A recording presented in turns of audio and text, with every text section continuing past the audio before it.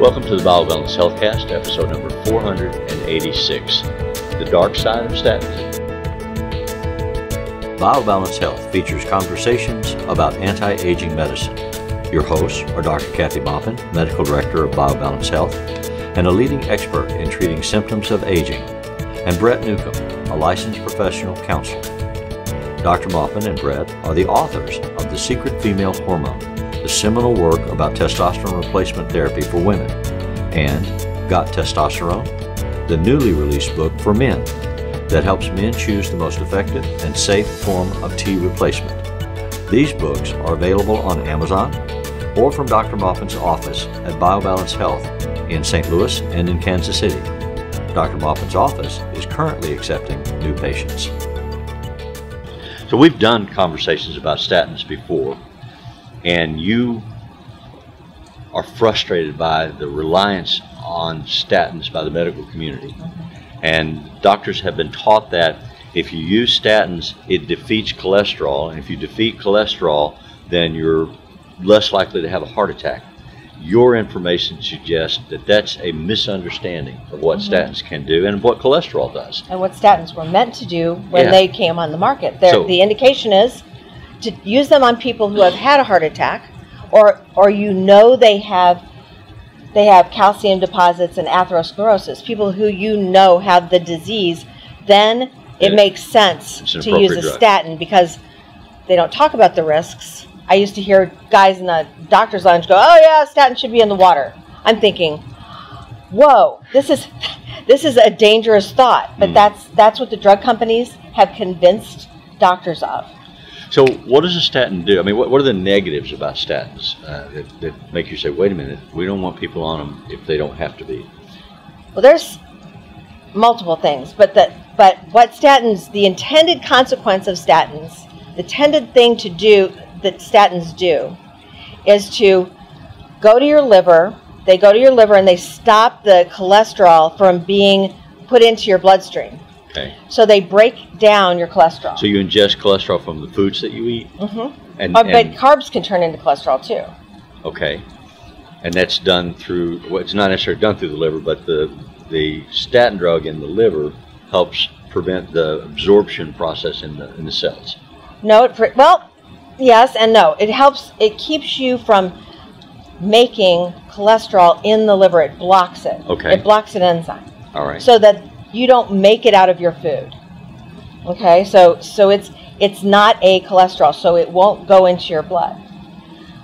Then it goes to the cell, Mhm. and it blocks. It also blocks cholesterol from being taken into the cells. So- All the cells. Uh, yeah. all the cells. And and my other my my second objection is that's not good because your brain is all cholesterol. I on purpose ate a high cholesterol diet when I was pregnant because I wanted my daughter to have a big brain. I mean, that's what your brain's made out of is cholesterol. And every cell wall, every you want to have beautiful skin, you're not going to have beautiful skin on statins. That's that you aren't going to have enough cholesterol to have beautiful skin. You're not going to have enough cholesterol to make your cell walls. You're going to have your cells will break down. They'll be less resistant to invasion by bacteria and, viruses. It's it is not a panacea, and it should not be given to everybody for Right. goodness sakes. But the other thing is, third thing is, when I test people for for um, atherosclerosis by doing a cardiac calcium scan, which is now self-referred. People can walk in and get one. You don't have to have a prescription for it.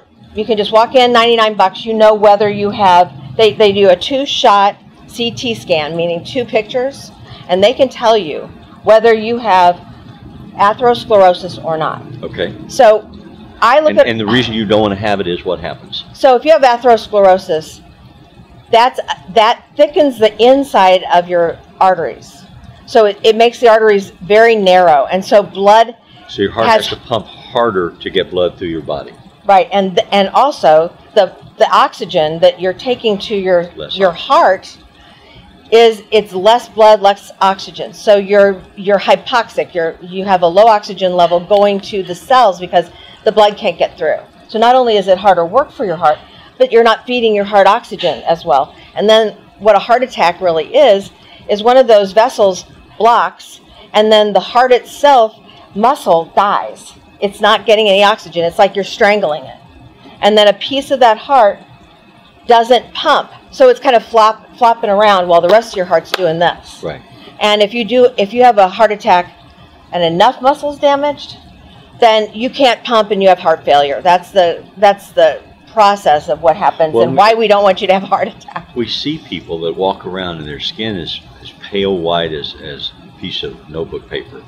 And they have problems breathing, they don't have muscle strength, and you say they've had a heart attack or they're a walking heart attack. Mhm, They're about to have one. Because there are visible And you signs. and you and my husband and Phyllis hold me back and say, don't go "Don't over there, go and over there and tell them that they need they need to have their heart looked at." They may already know. they may know and Yeah. and yeah you can when it's when it gets really bad Uh-huh. then you can see that in people Yeah. and then they need to have the test they probably need to be on statins So what do you suggest? If, I mean, you, you said, you're saying, if I've had a heart attack, then I probably need statins Mhm. to help the rest of my heart function, not have any cholesterol, assuming that that have low cholesterol Yep. so that you won't have as much stuff to stick to the blood vessels But what if I haven't had a heart attack?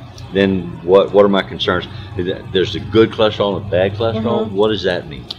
HDL is the good cholesterol. HDL protects you. Uh, there's a little bit of controversy over that, but they believe it should be as high as possible. And women usually have a high HDL. Mhm. One of the reasons that we have a lower risk of heart disease is that we have a high HDL. But Okay. high LDL is bad, so that's the bad cholesterol. Okay. And they're they're now they're doing like pieces of that to see which is the worst kind. But but in general, if your LDL is high, pe- your internists will say, "Oh, you, you need a statin because your LDL is high," Yeah. and they assume it's a one synapse jump from high LDL to, heart- to heart disease, which it is not.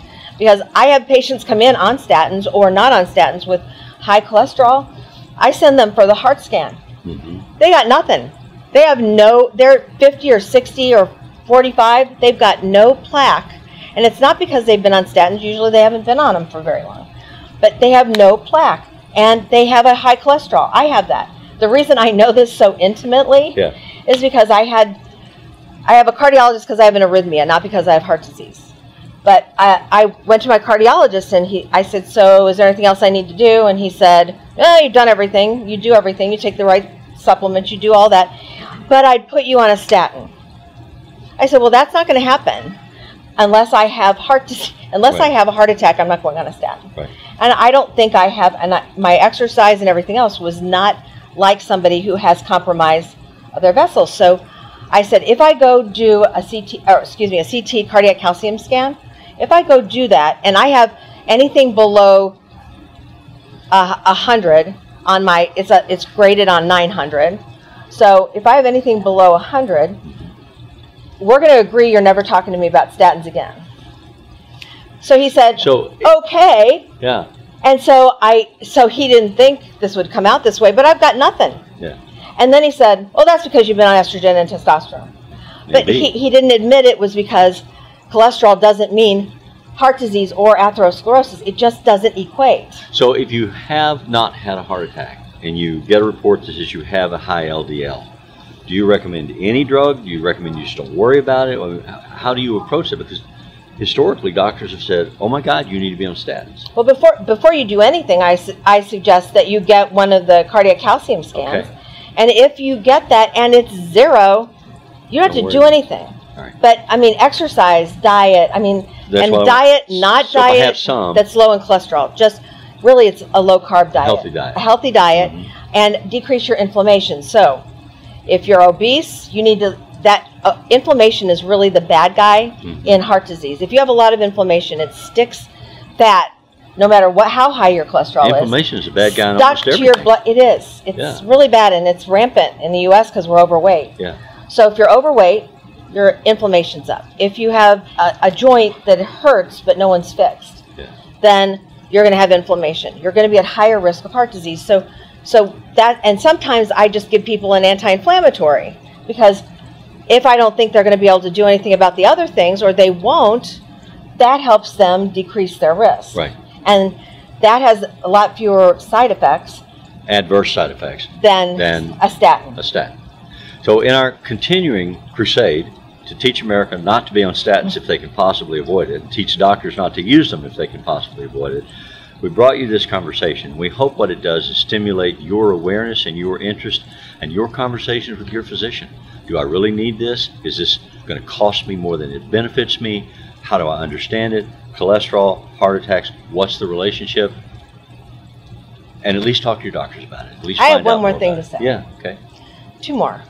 One is the unintended consequence of a statin is not only does your brain not repair itself, so we have statin dementia now, Wow. but every cell in your body is sensitive to statins and needs cholesterol, and it affects your mitochondria. The mitochondria are those little those little power uh, organelles inside your cell that actually make your energy. So what this one, the study in JAMA in 2018 said was that by impairing your mitochondria, you age faster, your exercise tolerance is lower, you cannot actually uh, make muscle, so your muscles shrink. And by taking the statin, that's how that works. You're actually making yourself age faster Okay. and impairing your ability to live a quality life. It's not an innocuous drug. And this now sh- proves it. This, I mean, there's been other studies, but this was more sentinel study than than we've had in the past. The other thing is, I have patients who come to me who have had statins for years, and all of a sudden their muscles go away. I mean, they're on testosterone. That doesn't fix it. Their muscles go away, and no matter what we do with taking them off statins, they lose all their muscle. They're weak. They can't. They can barely walk, and you never know when that's going to happen. It may not happen at the beginning. It may not happen until you've been on it a certain period of time, but their muscles just start dissolving. And what they say is there's no diagnosis. Well, the diagnosis is a statin. Right. So those are the scary things. Those are the reasons that I, I really wanted to bring this up because most people won't say, oh, that was your statin. They'll keep you on the statin and, and they'll be treating you with something else for your muscles. And it's a terrible disease. I, I watched a huge, muscly man just shrink in front of me. Right. And it's it, there's nothing I can do. Growth hormone doesn't work. Nothing else does. We of course he was taken off the statin, but it's not coming back. It's re- irreversible. So that's the unintended consequences of statin and the scary part. Okay. So be aware, have those conversations with your doctor, and as always, thank you for listening. Email your questions or comments to podcast at biobalancehealth.com. You can find the BioBalance Healthcast on iTunes and on YouTube. For more information about bioidentical hormone pellet therapy and other reverse aging solutions, visit biobalancehealth.com or call 314 993 0963. You can find Dr. Maupin on Twitter at Dr. Kathy Maupin and on Facebook at facebook.com slash biobalancehealth. Find Brett Newcomb at brettnewcomb.com.